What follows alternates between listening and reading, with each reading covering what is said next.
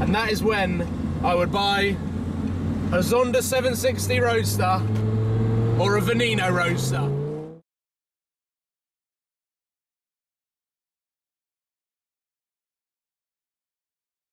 Hello, ladies and gentlemen. Welcome to Supercars of London. As you can see behind me, I have a 2015 Audi R8 V10 Spider. For those that don't know, I've seemed to have developed a little bit of a fear of driving a car with no roof. So this video is going to be documenting my first few miles in this car and trying to get to grips with facing my fear of driving a convertible. And what better weather to give this a first test on. So let's jump in, put the roof down and go for a drive. This is the scariest button in a car like this. I mean, what better car to test out whether I can face my fear of driving a convertible with the roof down than the brand new Audi R8 V10 Spider. So what you do is you pull this back, windows begin to drop. Oh, here comes the roof. There it goes.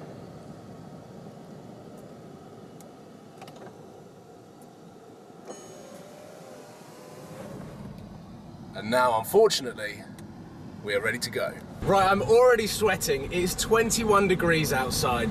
And firstly, let me give you a little background into why I'm not a fan of convertible cars.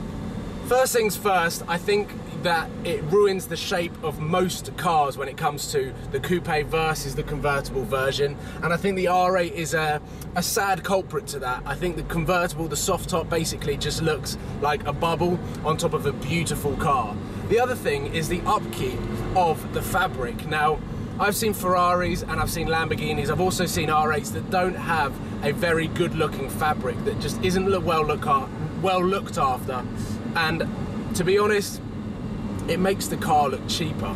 And the last thing, the, my major factor as to why I don't like convertibles is all of this space. You are so exposed, overexposed, that it makes me really uncomfortable when I'm driving this car, or even the thought about it. I've been in passengers to a fair few convertibles before, and to me, I feel very uncomfortable with how exposed you are to people walking on the side, to other cars, and I just don't like the package. The idea of a convertible car does not appeal to me. And especially in the UK when we get about 24 hours of sun, like today.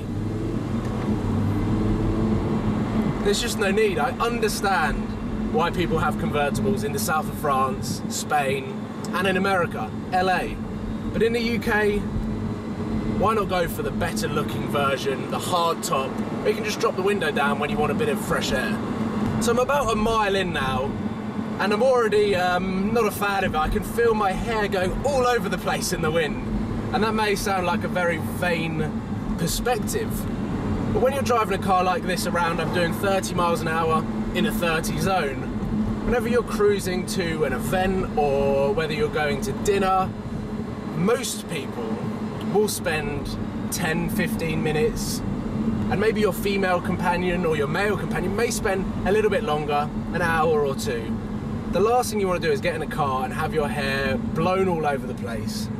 And I know that isn't a great start to the argument as to why you wouldn't get a convertible,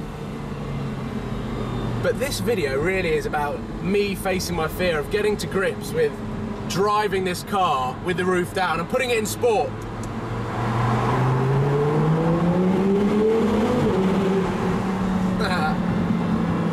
Okay, I get that. I get that. I'm just gonna put that window back up and see whether it does anything to the aerodynamics of putting your head out the window.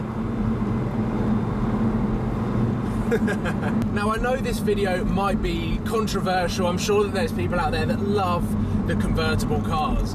And I can understand that because everyone is entitled to their own opinion, has their own tastes. The world would be very boring if we all like the same things and dislike the same things. So this video talking about why I don't like convertibles. We're coming up to a red light now, and this is a real sort of fear of mine. Is I'm so exposed, like people can just stare in at your personal space. A car is a personal space. And for those that have been following my YouTube channel for quite some time now will, will realise how reluctant I've been to wearing sunglasses whilst I've been driving my car. And that's all down to an image and a judgmental thing of what people will perceive me as. And for me, I've always wanted to be as real as possible and uh, of who I am and just as down to earth as I am. So I always feel like wearing sunglasses, one, you lose eye contact with the person that you're talking to, or all of you guys, which I don't like. That's another reason why I don't like convertible cars.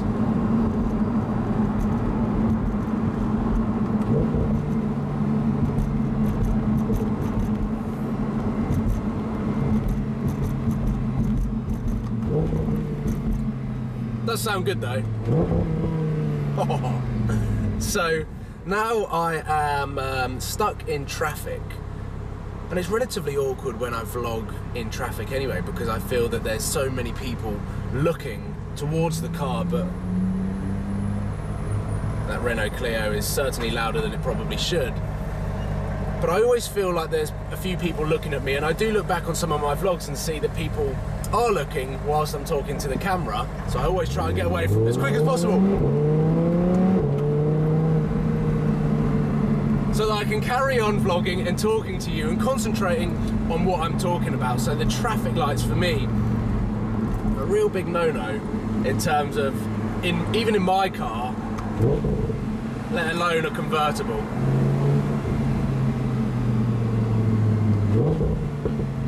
Oh, that was a good crackle. And maybe that's a positive to the convertible. You wouldn't be able to hear the crackles or the exhaust note as much as in the something like this where you're so exposed to the world outside.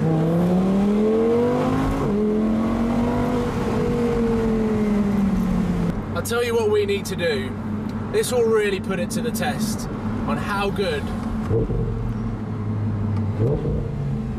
a convertible is. We need to find a proper tunnel, a really enclosed, tight space where I can take this car find out how it sounds and work out whether an Audi R8 V8 Spider with an Armytrix exhaust is better than my car. Right, we've got a tunnel coming up here.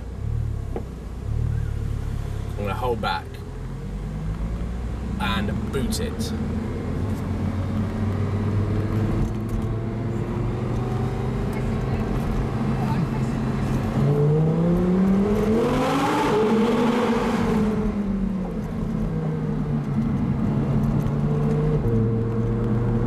So that was just cruising past the garage and the mechanics are all outside because it's a lovely day. And they wanted me to boot it. Of course I was going to boot it anyway because I'd built up to that tunnel about 10 minutes ago. There's another underpass. Let's try and nail it. Oh, okay, I get it, I get it.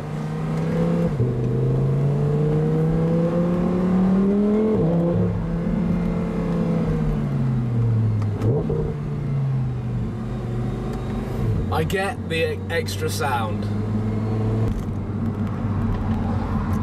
We're gonna get a dual carriageway now. I'm gonna put all of the windows down. We may lose some sound and get lots of wind noise, but let's see how good the aerodynamics of the car and the airflow is when it comes to driving quick on a dual carriageway.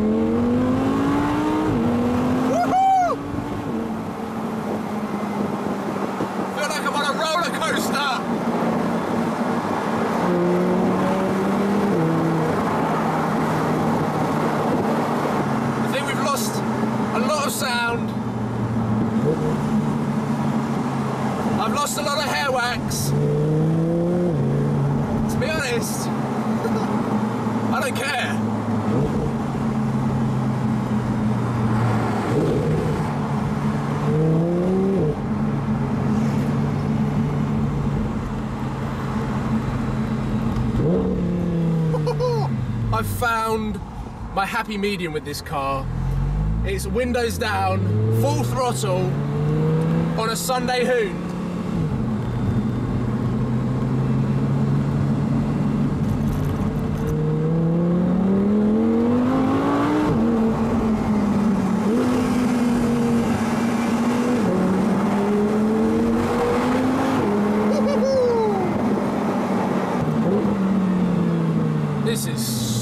fun. Rather than pooling around town and trying to use this as a day-to-day car, this is where it's at.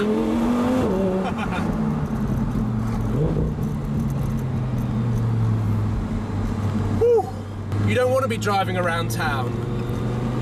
You don't want to be exposed to all of these people around you. You don't want to be exposed to the wind when you're driving around town, when you're stuck in traffic and people can hear what you're talking about. Or when you've got an annoying plane above you.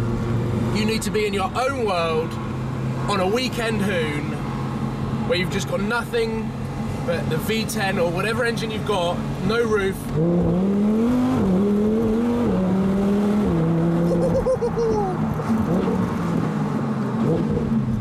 this car is insane.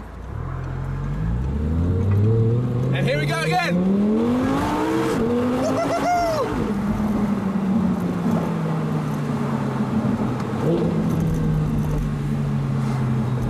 Yeah, I get this car now.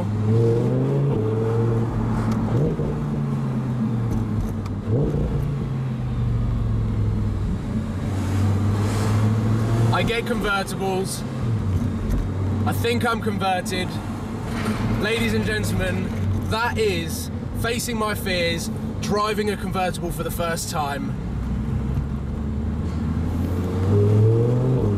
And I understand them now. I hope you've enjoyed this video and I hope what I've talked about can be relatable. People can understand what I'm talking about when it comes to driving this car around town and the attention this car might get, whether it's good or bad. And overall, it's just been a fun video to film for me. And it's also been a very, very fun experience for me at the same time to be using Audi UK's 2015 Audi R8 V10 Spider to get to grips with my fear of driving a convertible. Thank you for watching. I hope this content has come out well and there hasn't been so loads of air noise and wind and all of that sort of stuff. I'm gonna go for one last hoon and then I'll remember this car and who knows whether or not I will buy a convertible at some stage in my life. I do think the ideal place for a convertible is Monaco or Miami. And that is when I would buy a Zonda 760 Roadster or a Veneno Roadster. Goodbye!